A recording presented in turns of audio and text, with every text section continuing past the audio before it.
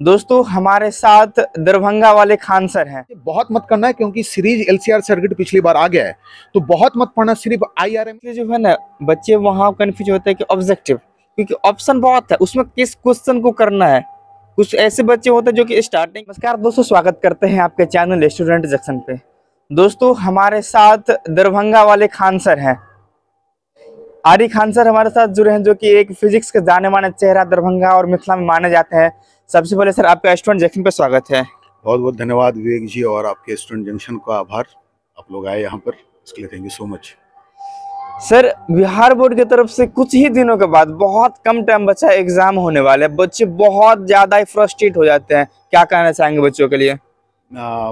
Frustrate होना solution नहीं है एग्ज़ाम तो देना ही है। तो फिर फ्रस्ट्रेट होके क्यों देंगे? अच्छे से क्यों नहीं देंगे? सेल्फ मोटिवेशन करना बहुत ज़रूरी है। घबराहट किसको नहीं होती? चाहे वो बोर्ड का एग्ज़ाम हो या आईआईटी का हो या आईएएस का हो। चाहे हमने दिया हो, आपने दिया हो या अभी के जनरेशन दे रही है। बट यही है कि अभी जो लास्ट के दस दिन बचे हैं ना, इसमें पूरा फुल पैक हो जाओ। मतलब अपने आप को सोलह, सत्रह घंटा, अठारह घंटा पढ़ाई पर देना शुरू करो, तब बड़ा बढ़िया रिज़ल्ट रहेगा। और सेल्फ मोटिवेट करो मेडिटेशन करो अच्छा से खाओ, ठंडा है, थोड़ा अपना सुरक्षा भी बरतनी है, क्योंकि बहुत लोग बीमार पड़ रहे हैं, ठंडी से फीवर वगैरह, खांसी, सर्दी तो बचना है क्योंकि आपका एग्ज़ाम टाइम है। थोड़ी एक दिक्कत ये भी है कि आई का एग्ज़ाम और बोर्ड का एग्ज़ाम कोलाइड कर गया जेई मेन्स का।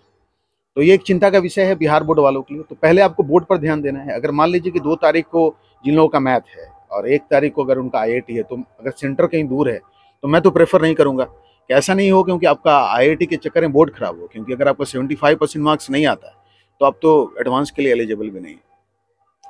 सर रिज़ल्ट के बादशाह कहे जाते हैं रिज़ल्ट के शहनशाह कहे जाते हैं फिजिक्स के लिए स्पेशली बात करो तो। क्या स्पेशल टिप्स रहेगा आपके तरफ़ से बच्चों के लिए? नहीं, मैं कोई टिप्स पे आज बात नहीं कर रहा, क्योंकि बहुत कम समय है तो फिजिक्स में क्या होता है ना, विवेक जी, की सबसे ज़्यादा डर बच्चों को फिजिक्स में लगता है। बहुत सुंदर सब्जेक्ट है ये। आप कहीं भी पढ़े हो, सारे टीचर अच्छा पढ़ाते हैं। आपने कहीं भी पढ़ाई की हो। लास्ट में मुझे लगता है कि कुछ इंपॉर्टेंट क्वेश्चन है जो पढ़ने की ज़रूरत है। मैं चैप्टर वाइज बताना चाहूँगा कि कुछ इंपॉर्टेंट क्वेश्चन अगर तुम इसको पढ़ लोगे ना तो मैं इस बात को दावे के साथ कह सकता हूँ कि तुम्हारे पेपर बहुत अच्छे जाएँगे।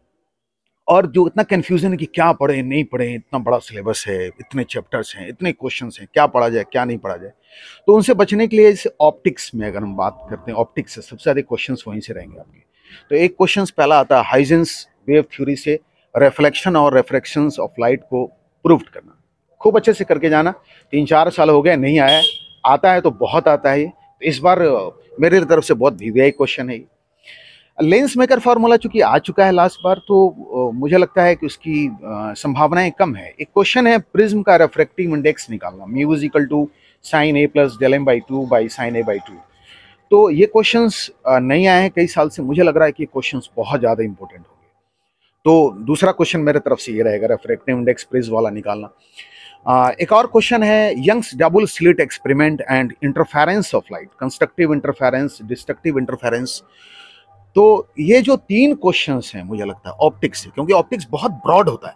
बच्चों को ये नहीं समझ में आता है एक सर बच्चे के लिए ऑप्टिक्स सर दर्द भी हो जाता है। होता है बट इसी उसी सर दर्द को हम लोग को खत्म करना है। जब अगर आप मुझसे पूछ रहे हैं तो मैं अपने बच्चों को के लिए फिजिक्स आसान करना चाहता हूँ जो भी आप मुझे दे इस तीन क्वेश्चंस को ऑप्टिक्स के, जो मैंने भी कहे हैं, आप इसको देख करके आप ऑप्टिक्स में इसको फॉलो करें। अब आते हैं हम लोग, इस बार मॉडर्न के क्वेश्चंस अच्छे खासे आ सकते हैं। और कम्युनिकेशन के कम्युनिकेशन में आपको दो क्वेश्चंस बहुत अच्छे से करना है। Block diagram of communication system जिसमें आपका ट्रांजिस्टर है रिसीवर सेक्शन है एंटीना सेक्शन है, उसको बहुत अच्छे से करना है। टावर का रेंज निकालना D is equal to under two R H system जो है वो फार्मूला टावर का रेंज निकालना बहुत इंपॉर्टेंट होगा मुझे लगता है इस बार। तो ये दो क्वेश्चन मैं आपको स्पेस वेव प्रोपोगेशन पर नहीं ले जाऊँगा, क्योंकि फिर आप लेंदे ही चले जाएँगे। बिल्कुल घबराइएगा मत, जो बोल रहा हूँ बस उस क्वेश्चन को बहुत अच्छे से कीजिएगा। तो ये कम्युनिकेशन से दो क्वेश्चन हैं। मॉडर्न फिजिक्स से पीएन जंक्शन डायोड उसके वी आई कैरेक्टरिस्टिक बहुत इंपॉर्टेंट है, और diode as a full wave rectifier ये इंपॉर्टेंट है। एक बड़ा पॉपुलर क्वेश्चन है बोर्ड का, वो है सेमी कंडक्टर इंसुलेटर और कंडक्टर में डिफरेंसेस तो उसको बहुत अच्छे से कर रहे हैं। एक और मेरी तरफ़ से क्वेश्चन ऐड करना। एनपीएन ट्रांजिस्टर जो कॉमन एमिटर मोड में काम करता है, उसका यूज़ आप कॉमन एमिटर मोड पर लोगे ना तो उसी में हल्का सा देखना चेंज है एज ए स्विच और एज ए ऑसिलेटर स्विच में जैसे कट ऑफ़ रीजन और सेचुरेशन रीजन और एक्टिव रीजन तीन रीजन है। सी सिर्फ़ दो रीजन में काम करता है। तो उसको थोड़ा जब आप ट्रांजिस्टर के इनपुट आउटपुट कैरेक्टरिस्टिक को पढ़ लोगे तो ये अच्छे से आ जाएगा। Transistor as a switch transistor as a oscillator कोई एक क्वेश्चन यहाँ से ज़रूर रहेगा। मैं बहुत लिमिटेड क्वेश्चन दे रहा हूँ। कुछ सर शॉर्ट क्वेश्चन बता दीजिए क्योंकि बच्चे वहाँ भी कंफ्यूज हैं। हाँ मैं आ रहा हूँ लेकिन मैं थोड़ा सा अभी दो तीन और जो टॉपिक बचे हाँ सर फाइव नंबर वाले कुछ हाँ पाँच। जो चैप्टर वाइज तो तीन चार चैप्टर हो गए। मैग्नेटिज्म बहुत इंपॉर्टेंट बहुत ज़्यादा इंपॉर्टेंट तो मैग्नेटिज्म में इस बार ferromagnetic substance, hysteresis loop, dia और पैरा मैग्नेटिक मटेरियल से पाँच नंबर के क्वेश्चंस रहेंगे, है ना? मैग्नेटिज्म में मुझे लगता है कि टॉर्क निकालना, रेक्टेंगुलर करंट कैरिंग कॉइल का मैग्नेटिक फ़ील्ड में वो भी क्वेश्चन आ सकता है और मैग्नेटिक डाइपोल को रोटेट करने पर पोटेंशियल एनर्जी क्या होगी, ये क्वेश्चन आ सकते हैं। मैग्नेटिक फ़ील्ड रिंग के एक्सियल पॉइंट पर निकालना आ सकता है और एक बायोट सेवट लॉ को पढ़ना, एम्पेयर सर्किटल लॉ को पढ़ने की बिल्कुल ज़रूरत नहीं। आप ज़्यादा बदरेशन नहीं लो। मैं जो जो क्वेश्चन बोल रहा हूँ, बस उसको कर लो। बायोट सेवट लॉ को कर लेना और बस उसकी वजह से एक्सियल पॉइंट पर मैग्नेटिक फ़ील्ड निकालना पड़ लेना। तो ये ओवरऑल आपका अच्छा चला जाएगा। अच्छा एसी से अल्टरनेटिंग करंट से बहुत मत करना है क्योंकि सीरीज़ एलसीआर सर्किट पिछली बार आ गया है। तो बहुत मत पढ़ना सिर्फ़ I R M S I average ये पढ़ लेना ट्रांसफार्मर को अच्छे से पढ़ लेना। है ना जनरेटर को अच्छे से पढ़ लेना क्योंकि बहुत साल से नहीं आए तो average current R M S current AC से, है ना ट्रांसफार्मर और जनरेटर ये अच्छे से कर लेना। इलेक्ट्रोस्टैट से अगर बोलोगे तो मैं बहुत ज़्यादा बड़े नहीं दूँगा, बहुत बड़ा है। एक गॉस थ्योरम अच्छे से पढ़ लेना state and proof Gauss theorem है ना, और उससे कुलम्स लोग कैसे डिराइव करते हैं। एक कैपेसिटर के क्वेश्चन आ सकते हैं। कैपेसिटर का एनर्जी डेंसिटी निकाला या energy store in the capacitor ये क्वेश्चंस आ सकते हैं। तो इसको कर लेना है। और हाँ एक क्वेश्चन बहुत इंपॉर्टेंट है वो है फ़ोटो इलेक्ट्रिक इफ़ेक्ट और उसके लॉ। इस बार वो आएगा। फ़ोटो इलेक्ट्रिक इफ़ेक्ट और लॉ वो बहुत अच्छे से करके जाना। करंट में लॉन्ग टाइप क्वेश्चन आने की संभावनाएँ नहीं है मुझे लगता है। अगर आता भी है तो पोटेंशियोमीटर के क्वेश्चंस करंट से आ सकते हैं। तो आपको वो नहीं पढ़ना है जितना मैंने लॉन्ग टाइप बता दिया अगर ये आप पढ़ ले तो ओवरऑल तो आपका पेपर लॉन्ग टाइप पूरा निकल जाएगा कुछ शॉर्ट टाइप सर कुछ क्वेश्चन बता दीजिए। शॉर्ट टाइप में आपका ऑप्टिकल फाइबर को अच्छे से कर लेना। लॉ ऑफ़ मैलस कर लेना ब्रिस्टल लॉ को अच्छे से कर लेना और angle of declination angle of dip को अच्छे से कर लेना और शॉर्ट टाइप में तुम्हारा एमीटर वोल्ट मीटर से रिलेटेड क्वेश्चन आ सकते हैं कि क्या होता है, कैसे गैल्वेनोमीटर को आप इसमें कन्वर्ट करते हो। साइक्लोट्रॉन का कुछ शॉर्ट टाइप क्वेश्चंस आ सकते हैं तो उसको थोड़ा सा एक बार देख लेना।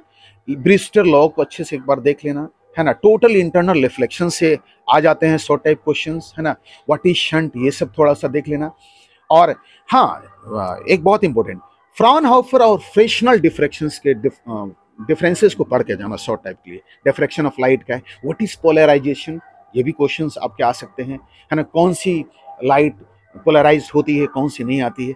ये सब शॉर्ट क्वेश्चन आ सकते हैं आपके। सर अब स्पेशली जो है ना, बच्चे वहाँ कन्फ्यूज़ होते हैं कि ऑब्जेक्टिव क्योंकि ऑप्शन बहुत है उसमें किस क्वेश्चन को करना है? कुछ ऐसे बच्चे होते हैं जो कि स्टार्टिंग के हार्ड क्वेश्चन में फंस जाते हैं क्योंकि लास्ट में हो सकता है कि आसान क्वेश्चन रहे तो उसको कैसे करो? ऑब्जेक्टिव को कैसे हैंडल करना है? बात को समझिए। वेट है हर क्वेश्चन मार्क्स के वेटेज है। सपोज़ करें कि आपके करंट सात नंबर के हैं। तो अगर करंट से लॉन्ग टाइप अगर वो नहीं पूछता है तो फिर वो सात नंबर कहाँ ले जाएगा? शॉर्ट और ऑब्जेक्टिव में।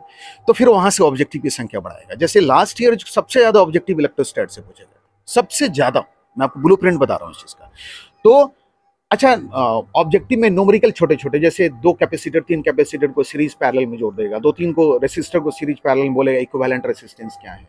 है ना? आरएलसी सर्किट का इंपोर्टेंस पूछ देगा आरसी सर्किट का इंपोर्टेंस पूछ देगा। रेडियो एक्टिविटी और न्यूक्लियाई से ऑब्जेक्टिव पढ़ना मैं बहुत बच्चों को देख रहा हूँ कि न्यूक्लियाई और एटम पे परेशान रहे बिल्कुल नहीं। Wastage of time long type long type में इतने ऑप्शन रहेंगे कि अगर आप उसको नहीं भी टच करते हैं तो बहुत अच्छा कर सकते हैं। तो ऑब्जेक्टिव के लिए मुझे लगता है, विवेक जी, की ओवरऑल पढ़ने की ज़रूरत है। बट अगर मैंने जितनी चीज़ें बताई है ना वहाँ से भी आपका कम से कम पंद्रह बीस ऑब्जेक्टिव पकड़ा जाएगा। आपको थर्टी फाइव सॉल्व करने हैं। हाँ हाँ। तो थोड़ा सा मेहनत की ज़रूरत होगी। ऑब्जेक्टिव में अगर आप ऑप्टिक्स को बहुत अच्छे से करके जाते हैं और मैग्नेटिज्म को अच्छे से करके जाते हैं याद रखना ऑप्टिक्स मैग्नेटिज्म और एसी तो मुझे लगता है कि आपका ऑब्जेक्ट जो ऑब्जेक्टिव का सेक्शन है पैंतीस का अच्छा खासा। सर कुछ नोमेरिकल भी आते हैं। क्या लग रहा है? कहाँ से जाएगा इस बार नोमेरिकल न्यूमेरिकल जब भी आते हैं आप इतिहास उल्टा करके देख लीजिएगा। तो या तो एनसीईआरटी को सीधे उठा करके डालता है वो सीधा याद रखना।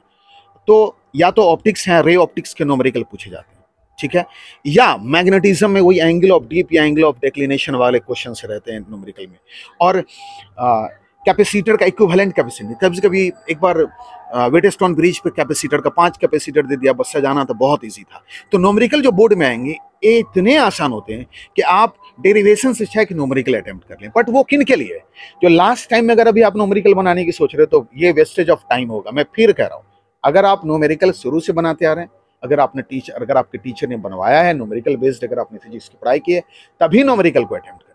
तो नोमेरिकल मुझे लगता है कि कैपेसिटेंस के नोमेरिकल ऑप्टिक्स के नोमेरिकल और इक्विवेलेंट सर्किट जैसे ओम्स लॉ वगैरह पे बेस्ड क्वेश्चंस आ सकते हैं नोमेरिकल मैं और कहूँगा विवेक जी अगर आप लोग मुझे सुन रहे हैं जितने भी लास्ट पंद्रह साल के ऑब्जेक्टिव पूछे हैं बिहार बोर्ड ने अच्छे से उसको पढ़ लीजिए। जितने भी लास्ट शॉर्ट टाइप क्वेश्चन पंद्रह साल के बिहार बोर्ड ने पूछे हैं अच्छे से पढ़ लीजिए। कुछ भी बाहर से नहीं आ रहा है। और ये सिर्फ़ फिजिक्स की मैं बात नहीं कर रहा हूँ। किसी भी सब्जेक्ट ऑल सब्जेक्ट की बात कर रहा हूँ। घुमा फिरा करके वहीं से आना है। लॉन्ग टाइम में मैंने बता दिया है। तो पंद्रह साल के ऑब्जेक्टिव को कर सकते हैं। कितना टाइम लगेगा आपको? एक दिन में आप पूरा कवर अप कर सकते हैं। कोई बड़ी चीज़ नहीं उसको कर लीजिए। ये कुछ जानकारी थे आप सभी बच्चे के लिए। अगर आप इस वीडियो को फेसबुक पर देख रहे हैं, पेज को फॉलो कर लीजिएगा यूट्यूब पर देख रहे हैं, चैनल को सब्सक्राइब करके बगल के बेल आइकन को प्रेस कर लीजिएगा। आप सभी से मिलते हैं अगले वीडियो में। तब तक के लिए धन्यवाद। जय हिंद, जय भारत।